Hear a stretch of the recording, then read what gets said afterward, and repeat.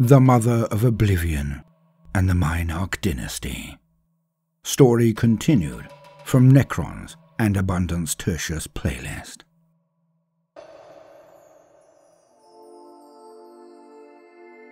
Utter carnage. My mind reels.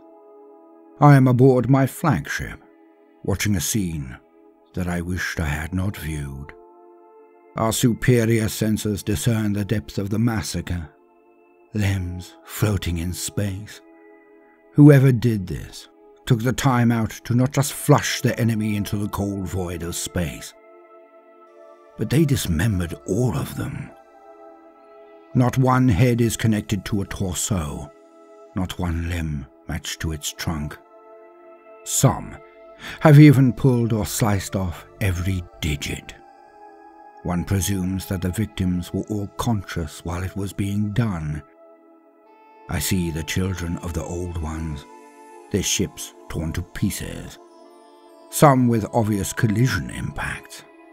They were rammed. Such fanaticism, such unfettered cruelty. The level of spite is almost bottomless, a yawning chasm that can only be filled by atrocity. Only in those who have fallen to the Flayer curse have I witnessed such sheer, unbridled hate. I am Kari Pasha, majestic lord of the shifting stars, herald of the night unending, keeper of the sempiternal tomb, humbler of the K'nib, a pharaoh of the Nefrek dynasty, the warriors of the golden stars. And today, I have witnessed the crushing of the lesser races. Yet, this was not perpetrated by those who succumbed to the curse of Llandu'gor, the flayed ones. For they are almost mindless things, and no fleet could be commanded by such as these. And it was an armada of our own that performed this work of what they must consider art. I have no love for the lesser beings, I never have. I have no soul to move me. I have scant hold of the ephemeral memories of such an emotion. It rises like an after image burned onto the eyes when one looks undefended upon the sun. It is nothing more than a memory of something that shone like a star. I almost feel it when I look upon my cursed consort, when she appears in the dark, watching me from the shadows. I always know she is there. Even before my senses detect her fully, I know. It is not a thing of spirituality. I am beyond that now. No faith can touch that which does not exist. I have no soul to move me. I know she permits me to see her in the reflection of objects before she ever truly shows herself. In some small part of her mind, she must not want to shock or startle me. I doubt she knows what she does. What little of her mind destroyed by the Flayer curse. She is now nothing but hate and butchery. She wears disgusting tattered patches of the hides of the lesser beings, dripping their still flowing lifeblood on my marble floors. She lurks and stalks. Perhaps she feels the same afterglow of what we once had. Perhaps she will one day leap at me, and we will end each other in a flurry of talons and blades. My last element of romantic dalliance, that we would poetically end one another, slumping into each other's arms in our last fatal embrace. But then, for us, there is no waiting barge to take us to some infantile afterlife. There is no future, just a never ending present and the gulf of the never ending past. We are dead inside. We are the soulless, we are the Necrons. So where did this level of ire come from? Who could conduct such a slaughter? Our master has hung between systems for some time now, in the darkness where none can go but us. The lesser races move through the Sea of Souls, but do so via the ancient trails, those forged by the Old Ones. They do not venture into the inky space between the stars. With more forces arriving with each day, I marvel at the force being collected. A small green world. Yet it is of interest to the Triarch. The Silent King himself directs this congregation of our forces. I have not seen its like since, well, before the slumber. There are elements from a score of minor dynasties.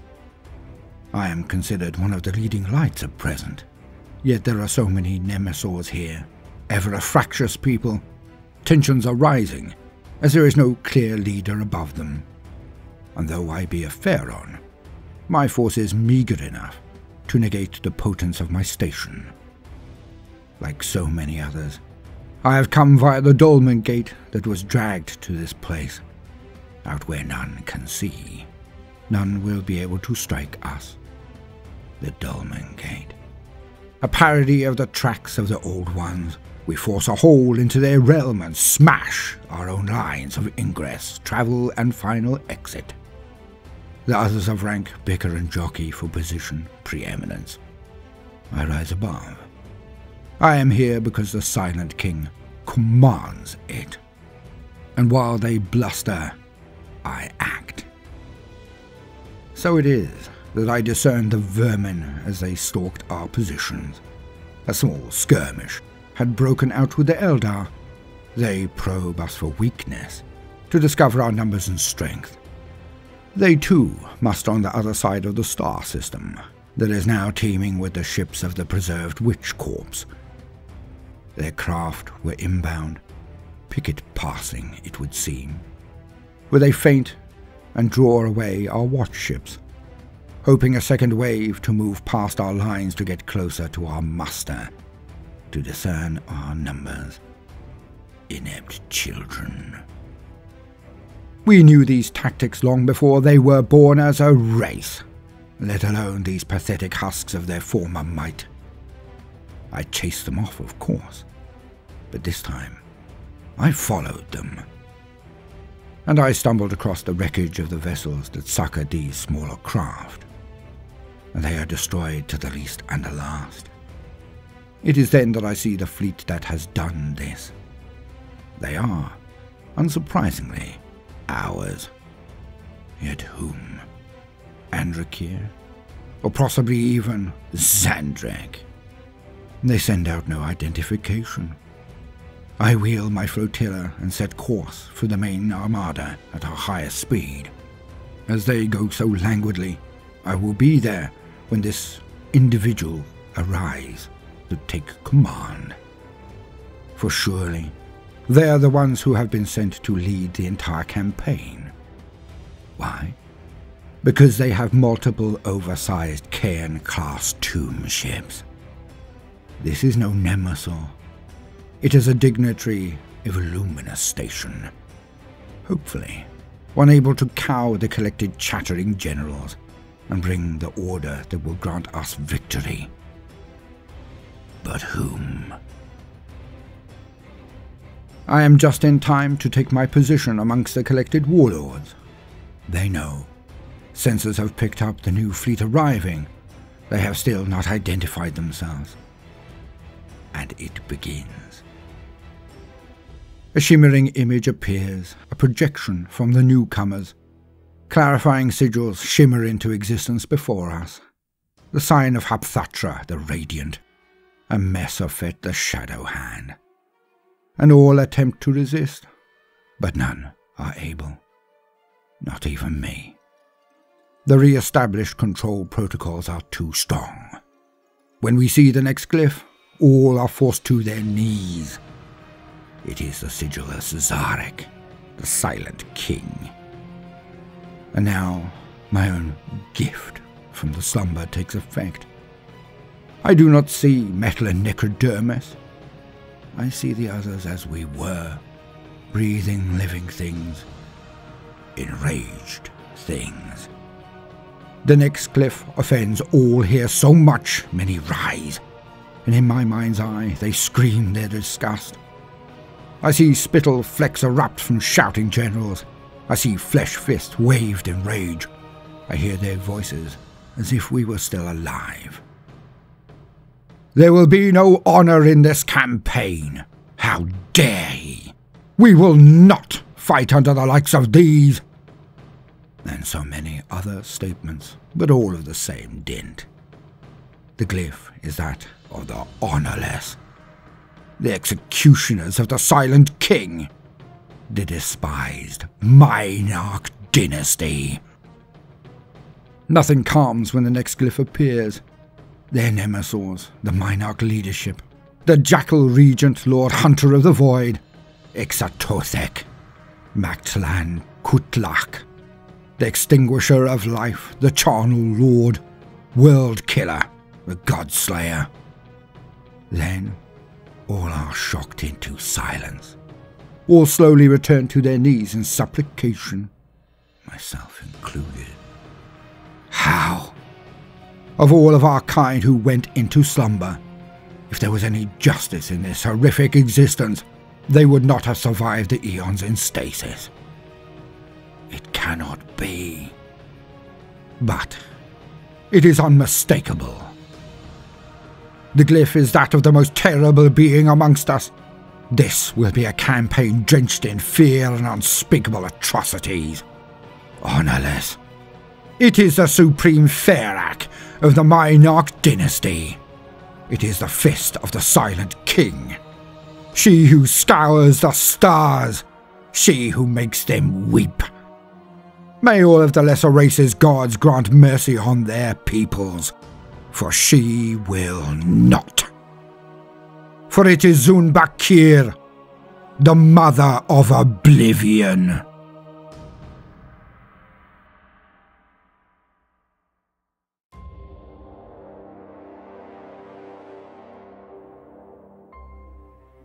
Welcome, gentle listener. I am Baldermort, your faithful servant, and I wish to introduce you to the forces, factions, and faces of the Warhammer 40k universe the grim darkness of the far future, where there is no time for peace, there is only time for war.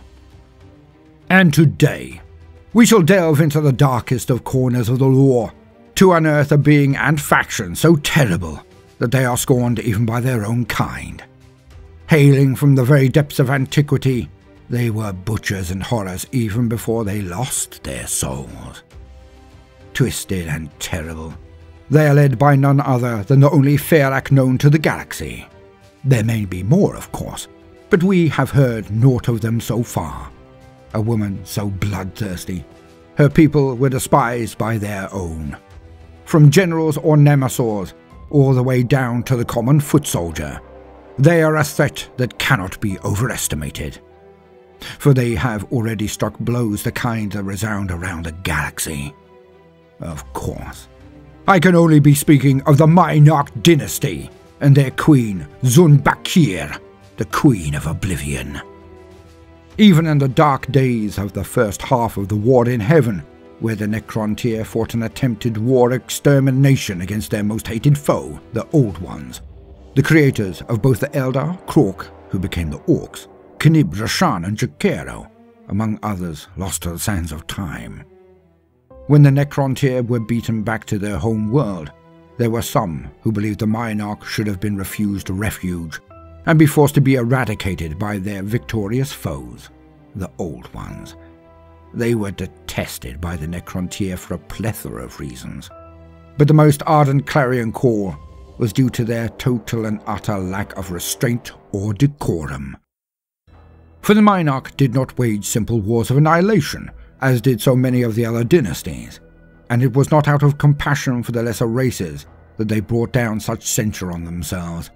For the Necrontyr were beings who suffered such pain from their waking moment to their death, an excruciation that lasted their entire lives, never to be ignored, lessened, or negated, no matter what they did or where they went. for the Necrontyr, the universe was a harsh and punishing taskmaster that offered little mercy. So why should they do anything other than reflect the malice of a truly unfair universe? And so, they spared none in their expansion across the stars. But it was always done as dispassionately as one might exterminate an infestation of wasps or lice. But they were not given usually to cruelty. Callousness, of course, but it was not done with true spite. The Maynarkh and their terrible Phaerakh were not the same. Other dynasties saw them as sick and twisted and beneath their contempt. And in those times, despite the wars they waged, the Necrontyr had high standards of honor. They had rules by which they would engage each other, or even those who had proven themselves worthy adversaries. In such cases, certain elements of their forces and tactics would not be used.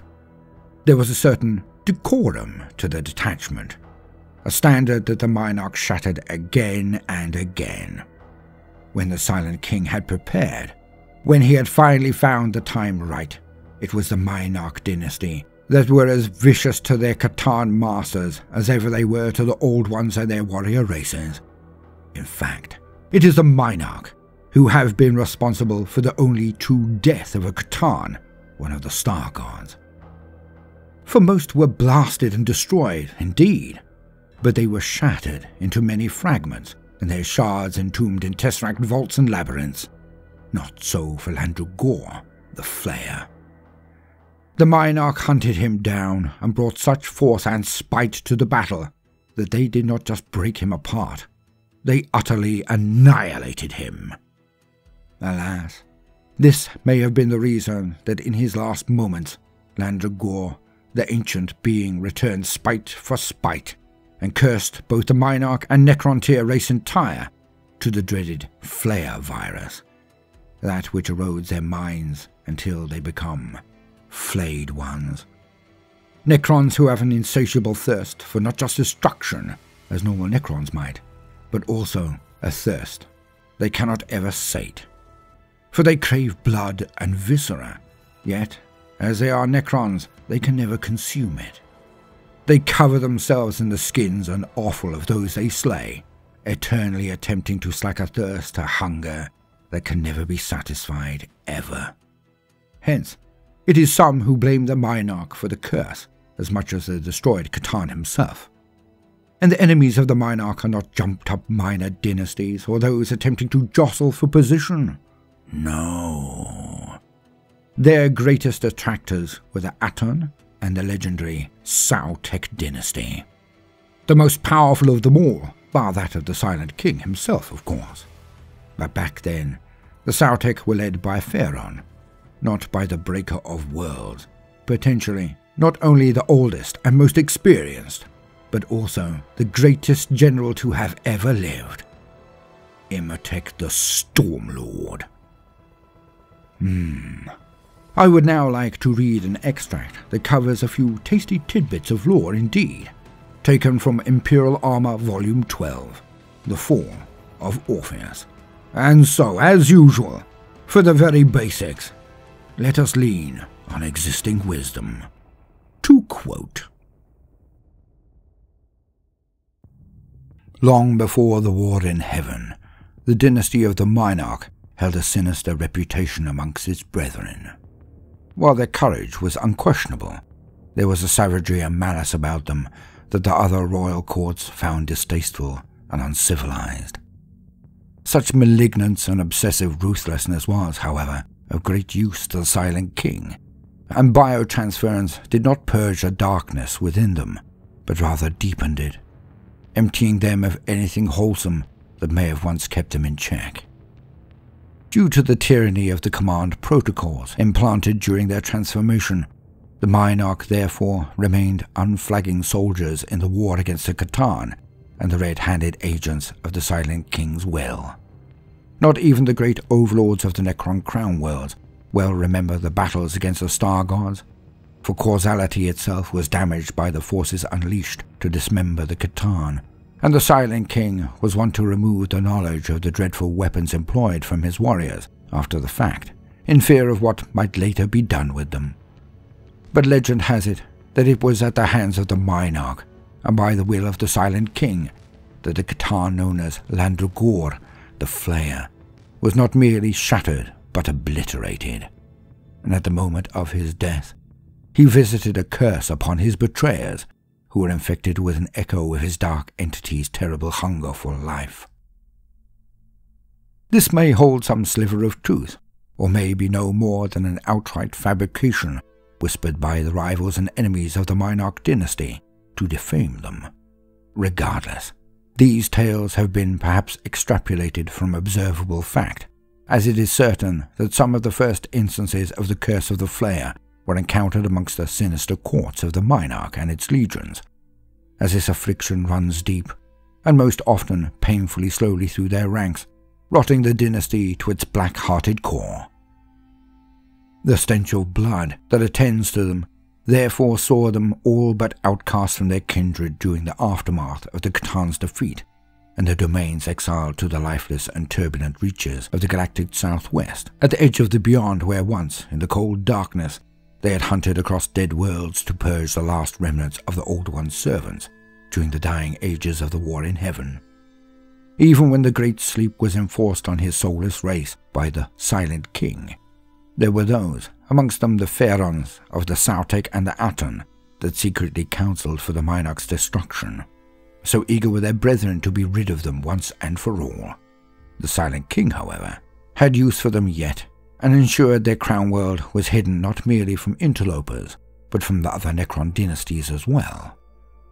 For all the canker that festers within their machine minds and lurks ready to erode them into horror, the Maynarkh are both numerous and strong, Counted not far behind the greatest dynasties in terms of direct military might, they were hampered in their advancement and supremacy by the distrust of others of their kind and their ill fame. Such indeed was their infamy that long-term rivals would even set aside feuds and grievances, however temporarily, to ensure that the Maynarkh in turn did not over-prosper in the endless rounds of power plays, vendettas, and intrigues that typified the Necron civilization both before and after they gave up their natural lives. This in turn led the Maynarkh to take what they wanted through naked, unrelenting aggression, where more subtle means were barred to them, and what client dynasties the Maynarkh took to their power, they did with the threat of extermination.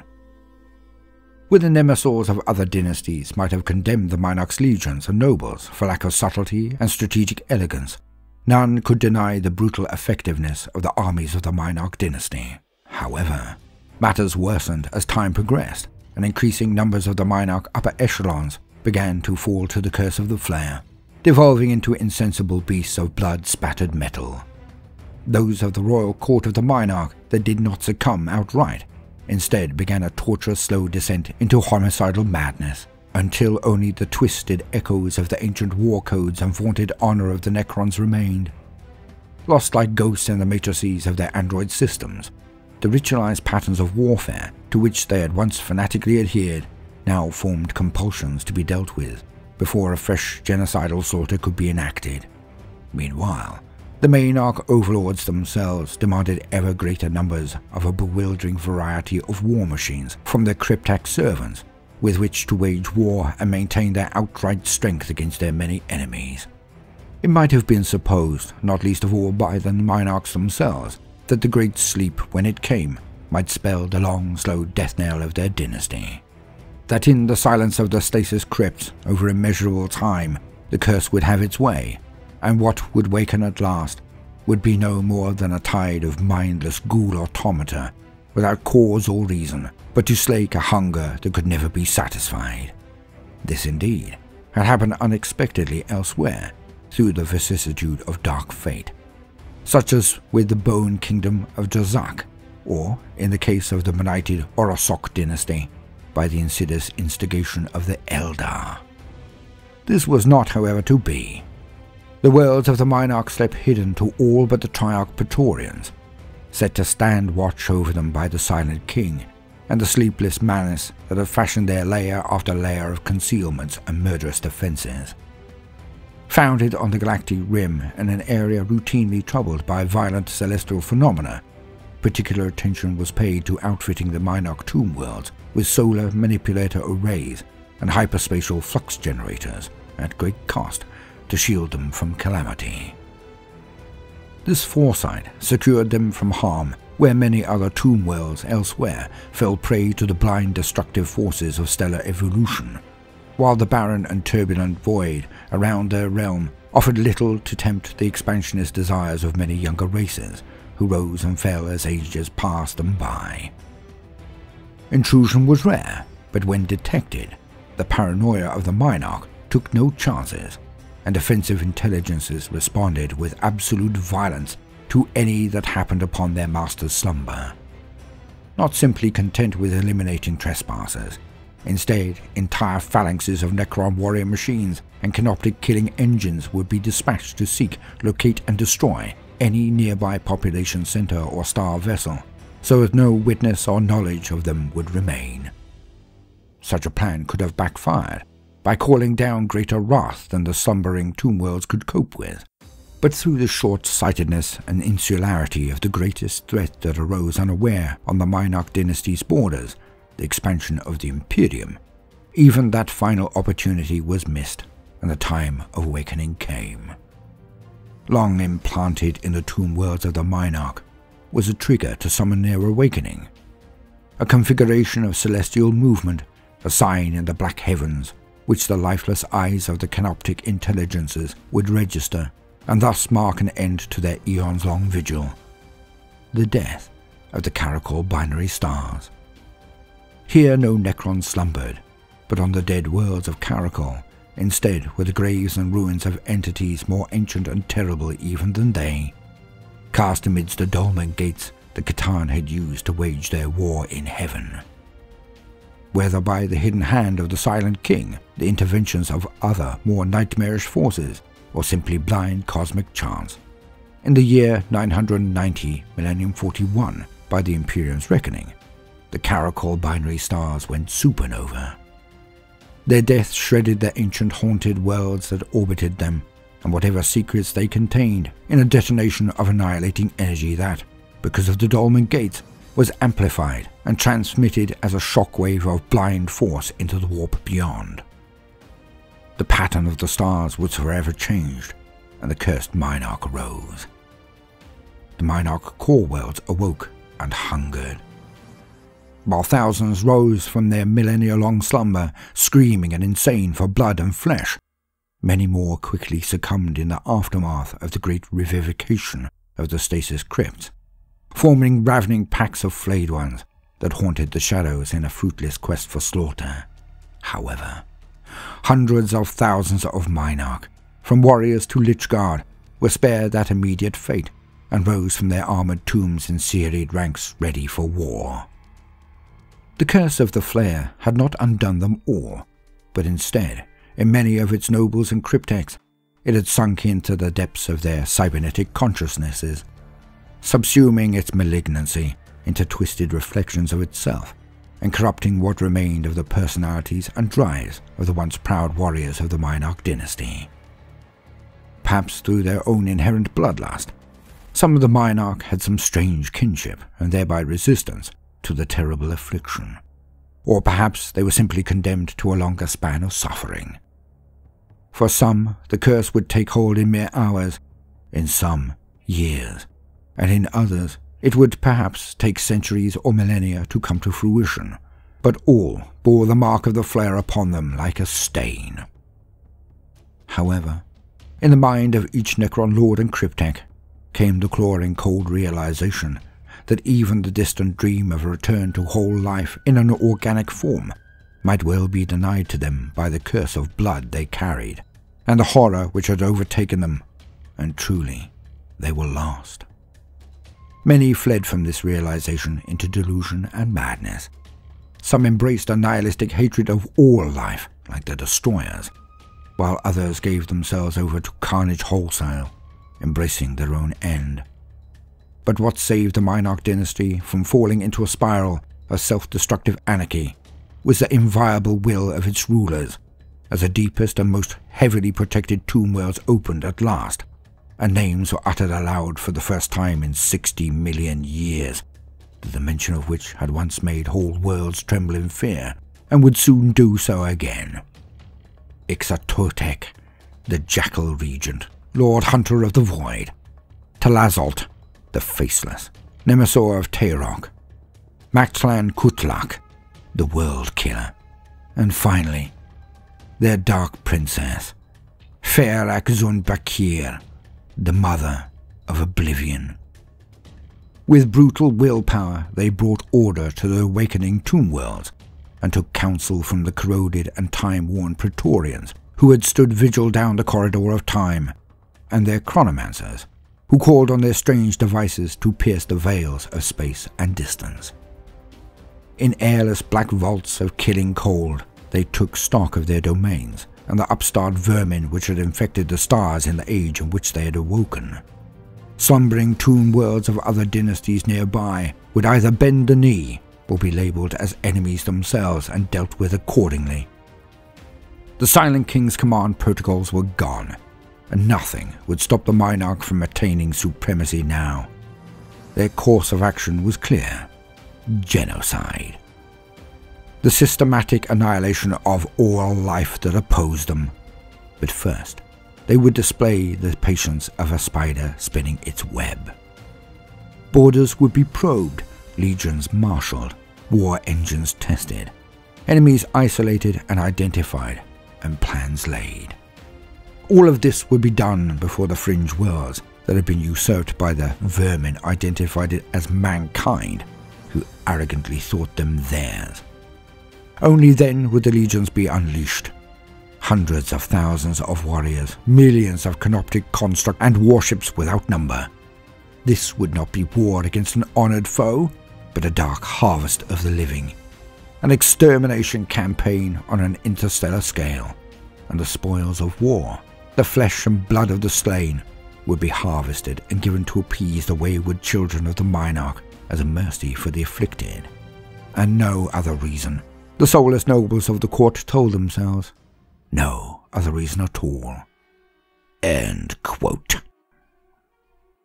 Now all of this is mere history, one might think, that the Maynarkh dynasty is just a boogeyman from the distant past. Yet, it is this dynasty that has brought one of the most crushing defeats the Imperium has ever received from the hands of a sentient Xenos race. Once, there was an entire sector that had been taken and held for some four millennia, the Orpheus sector. Conquered by the Imperium in circa millennium 37, it had subsequently survived Ork migrations, chaos infestations, and more than a few civil wars. Yet, when the Necron legions of the Maynarkh attacked, they did not do so in pockets or with tentative strikes and pathways of ingress. When they did attack, they assaulted scores of worlds at the once, slaughtering everything before them. The Imperial defenders barked out astropathic calls for aid to everyone in their region, and it was not lackluster PDF or some fresh regiments that came to match the call. Oh no. It was regiments for Necromunda and the Death Corps of Krieg that came, along with Space Marines. Yet things did not go as they usually do when these indefatigable warriors take to the field of combat in the defense of the Emperor's realm. An entire chapter of Space Marines, the Angels Revenant, were annihilated at their home on Libertha. They fought hard, but they were utterly crushed by the Maynarkh. The Battle of Amara was the crux of the engagement, and I shall be covering that intensely soon, as it is quite a ride. Yet, there is no time for this engagement to be discussed in all of its gory glory today, but it is coming. And so we must sum up. The Maynarkh have a thirst for victory that is second only to that of the Sautekh. They have won successive victories since their waking, expanding and absorbing minor dynasties left and right. They build their strength like an avalanche with each such conquest. They are the hidden dagger, the most loyal to the Silent King, bar his own dynasty or his Praetorians. Imotekh the Stormlord now rises, and perhaps attempts to wrestle power from his king. Surely, Szarekh will have no choice but to unleash the Maynarkh. Led by Mactlan, and, most brutal of all, Xun'Baykr, the mother of oblivion herself. Now that is a battle I would like to see. And the Pariah Nexus may be exactly where they strike first. Join me next video as I recount the tale of the battle where the Maynarkh crushed the Death Corps of Krieg easily. I have been Baldermort, your faithful servant. If you have enjoyed this video, then do consider liking and subscribing, and do check out our videos on mythology, links in the description. Now, no matter what you do today, do try to make some time for fun. Toodaloo.